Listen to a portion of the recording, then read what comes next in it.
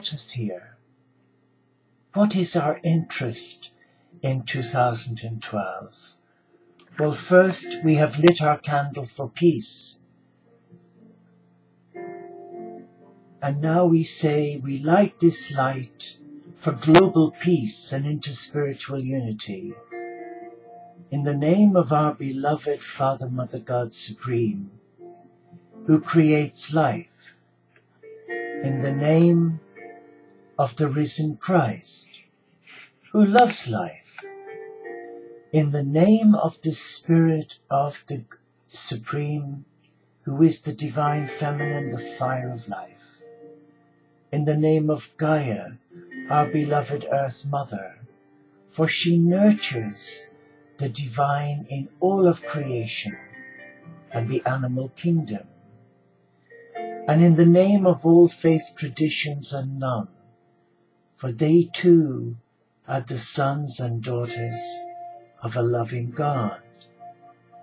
In truth, they are our brothers and sisters. And we now celebrate our spiritual diversity as we honor the Supreme in all present. And as we begin, we shall turn the lights down. And just to make it a little bit more relaxing and easy on the eye. And the track of music I'm playing for you was a piece of music composed for me. Oh, it could be about 10 years ago now and it was composed by a wonderful soul musician in Canada to my date of birth. And as my date of birth is the 21st of December, and the influx of energy of Christ consciousness is the same day, 2112, I've been guided to play it because of the beautiful resonance of heart energy. And for those who know about Christ consciousness and 2012, it is a reawakening of the heart. It is the heart's epiphany, the heart coming to full circle back into alignment with the Supreme, infused by the influx of light from the wonderful, beautiful cosmic Christ. I would like us to just relax now for a moment and just quietly remind ourselves that we are a beloved of the Supreme, that you and me were not here by chance. It was ordained for us to be here. And we were invited to be in this lifetime. As we approach the dawn of Aquarius, we agreed to it as part of our sacred contract. And that's why we're here. We are holding the light for the cosmic Christ.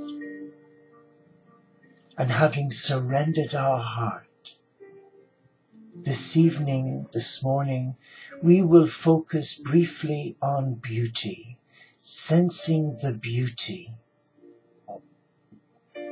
of creation.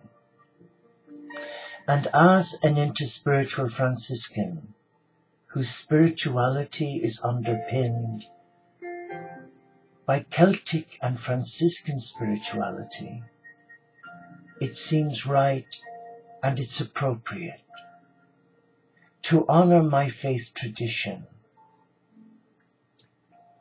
and the tradition of the ancient ones who've gone before me. Because I see Celtic Franciscan spirituality that embraces all faiths as being an important vehicle for the transmission of Christ consciousness. Because as interspiritual Franciscans, we embrace the supreme in the cathedral of nature. So let us come to nature now and find a place that's beautiful for us. Find a special place where we have many fond memories. It may be in Glendalough where Mary in Dublin has found much respite and meaningful support. It may be for Brother Tom sat watching the sea at Cape Cod. For Miriam, down in New Zealand, it could be beholding the breast of the beautiful mountains and landscape at Dunedin. It may be something quite different. But I know for me, it's walking through the woodland nearby and going to the two tallest trees. They're about 40 foot in height and standing with my hands touching each one and connecting with Gaia, Mother Earth, and the tree devas, and feeling the love of nature, the love of the Supreme flowing down through the seven branches, down through my heart, out through the seven roots of my tree of life. Find that place this evening, this morning, and just rest there a while and just behold the beauty, the beauty of creation for it's central to embracing the Supreme. First, let us use our gift of free will to ask the Supreme to send the company of heaven so that we can engage with the messages of love, that we can engage with our spiritual teachers, and our favorite saints, whoever they may be. It may be the little flower Saint Therese. It may be Francis of Assisi, Padre Pio, Corrie ten Boom, Hildegard. It may be Sri Chinmoy, Gandhi, the Lord Buddha even, or Paramahansa Yogananda, maybe Rumi. Just sit in your favorite spot and I want you to feel the love of Gaia, the love of the beings from the nature realm, with the love emanating from Brother Sun and Sister Moon, touching you, caressing you. So let us focus on our first embrace as we relax. We become aware of who we are as a child of the Beloved. And now we take a non-labored deep breath and we hold it.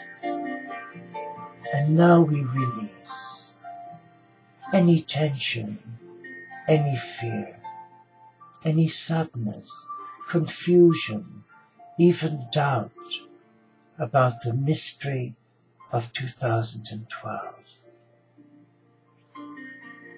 And just stay in that place connecting to the rhythm of your own breathing. And feel the love of the cosmic Christ who has called you by name. And in the stillness, let us reawaken our soul's DNA Yes, because we came into this incarnation with all the information we need about 2012. And though many light bringers of peace ask the meaning of 2012, it says a lot to my heart when they ask what is the significance of this time. They have clearly A, not surrendered their heart, and B, more importantly, they have not asked the I Am presence within them to explain to them the significance of this important time.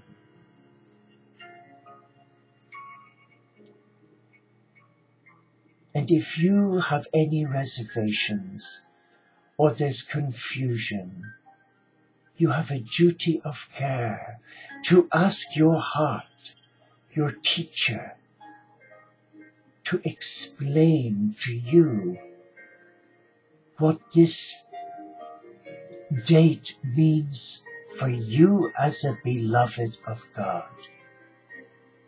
It doesn't matter what I say or do or think. What matters is what does your heart say to you? That is pivotal in our understanding of this absolutely amazing time in our evolution as man, as woman, and child of God. So let us just sit back now and enjoy the stillness of where you are and look at the view and the beauty. And now I'd like to share with you some thoughts on why beauty has such an important part to play in understanding the sense of beauty in relation to 2012. But first, I need a drink. I'm so dry. Excuse me. First, I would like to read to you a reflection. In ancient times, the love of the beauty of the world had a very important place in men's thoughts and surrounded the whole of life with marvelous poetry. Today, one might think that the white races had almost lost all feelings for the beauty of the world, and that they had taken upon them the task of making it disappear from all the continents where they have penetrated with their armies, their trade, and their religion. As Christ said to the Pharisees, Woe to you, for ye have taken away the key of knowledge. Ye entered not in yourselves, and they that were entering in ye hindered. And that's interestingly taken from St. Luke's Gospel, chapter 11, verse 52. What I want to share with you is something more poignant about the sense of beauty from the perspective of creation spirituality in relation to 2012. How did the rose ever open its heart and give to this world all its beauty? It felt the encouragement of light against its being. Otherwise we all remain too frightened. And that's from Hafiz. It felt love. Beauty heals. Beauty inspires. Beauty is often a name we give the divine. Modern Western culture has often forgotten this truth. Would you agree? When we do, we pay a price such as the willful destruction of beauty and the craving for pseudo beauties that an addictive culture wishes to seduce us into. Among the most ancient peoples, beauty is experienced in the simplest personal form. And my notes tell me that through the rituals persons give birth to, to whether it is the clothes and costumes with which one fashions one's body for festivals and celebrations, or is it the personal offerings made in ritual prayer to Brahman in India?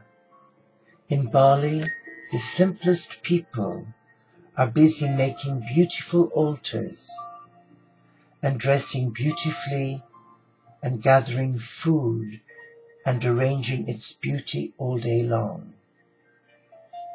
Beauty rules in some cultures. Beauty is involved in the most ancient of spiritual writings on earth, such as those from ancient Kemet in Egypt. In Egypt around 1550 BCE, hymns were created to the god Aaron, sorry, Aten. Beauty plays a great role in their phrase.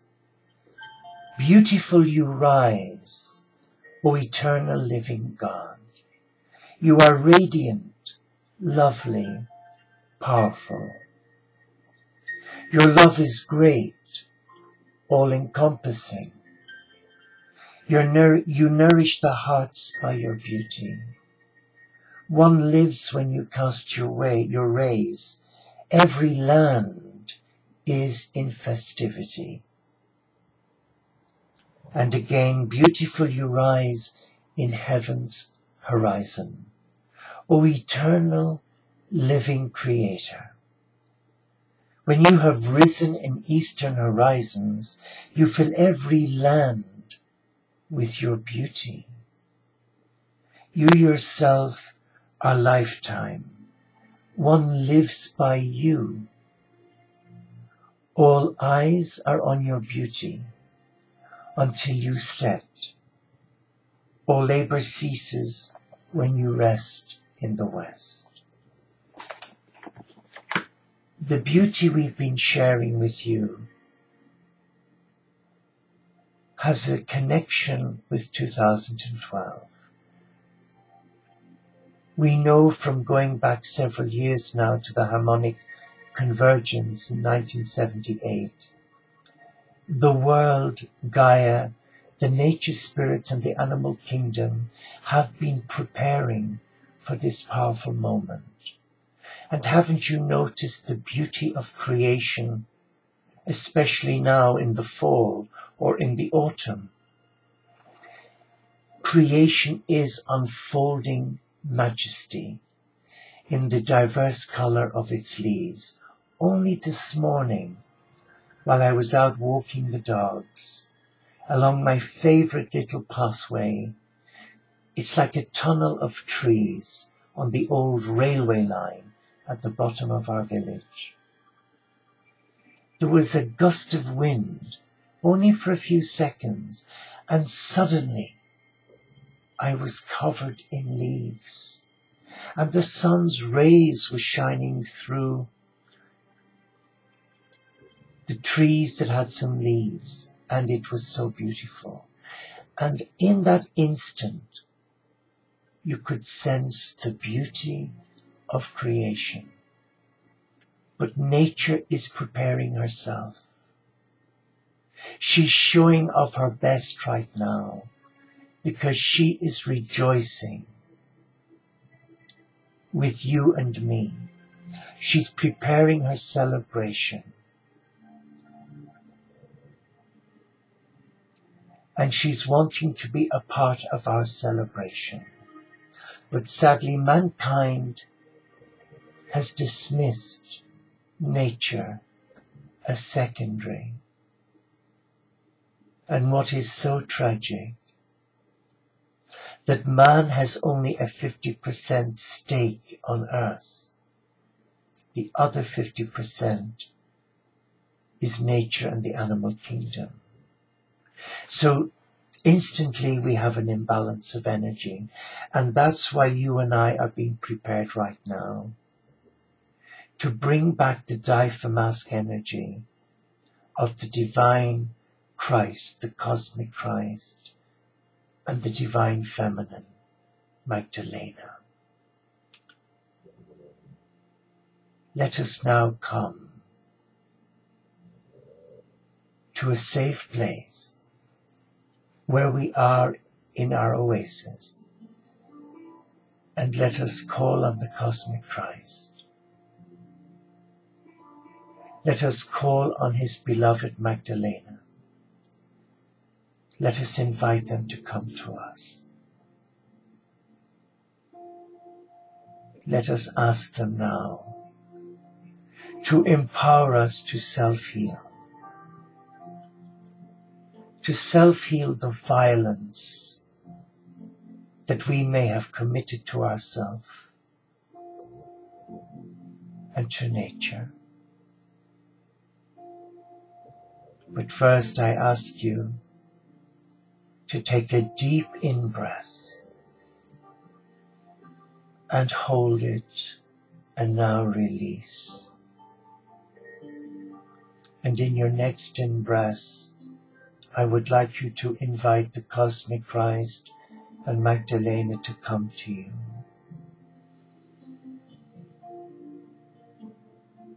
And we thank you, beloved Christ and Magdalena,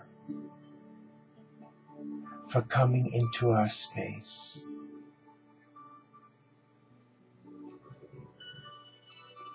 Just look to the horizon of your oasis and just picture a ball of light coming towards you. And that light is no ordinary light. It is the Christ light. And as it's now right in front of you, as you open your eyes, you can see the face of the cosmic Christ. Just picture that face. The face could be black or white. Just picture a face that's right for you, that resonates with your belief. But this is the cosmic Christ. And with him is his twin flame. And they draw up a seat in front of you, facing you. And their knees are touching your knees. So there is no escape. No escape. And something is happening. It's like as if your knees have been locked to the knees of the Christ and Magdalena. And you cannot move. And I sense the reason for this is because you and I have run away from facing our truth. We have run so fast that we've made ourselves ill, but now we are still and the Christ is looking at us with a gentle smile. And his energy is empowering us. Take back our power. Take back our power as a beloved, as an Olympian of peace. and to end the violence that we commit to ourselves, where we doubt, where we doubt, the true power and majesty of the I am presence within us. And as the Christ looks at you, you are challenged to ask yourself, why do I run away? Why do I run away? And now Magdalena, her love for you is inviting you to embrace the feminine energies of God and allow the feminine energy of God flow through every vein and artery of your being. And the Christ is inviting you to receive the masculine energy in balance with the feminine energy. And suddenly your heart is in alignment with Christ consciousness, which is love. The heart exploding with love. And suddenly you invite the Christ and Magdalena back into your heart, back into your life.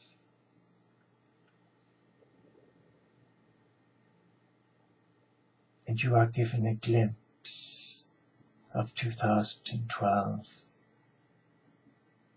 And when you lay your head on your pillow, you will ask the Christ to take you to his etheric retreat and there explain to you in your subconscious state what should I understand that's relevant for my ascension? What is it that I should listen to and look out for as part of my ascension process? And now you feel a wave of love flowing into every part of you. And it's a love you cannot explain. It's a deep love. It's an ethereal love. It is the I am presence being reawakened within you. Just stay with that for now.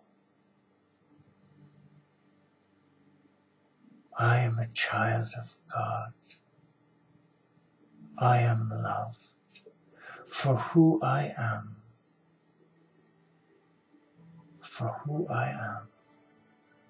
I am loved. I am accepted.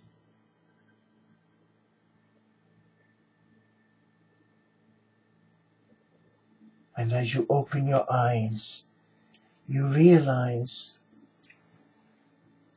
that Jesus and Magdalena have left you a gift.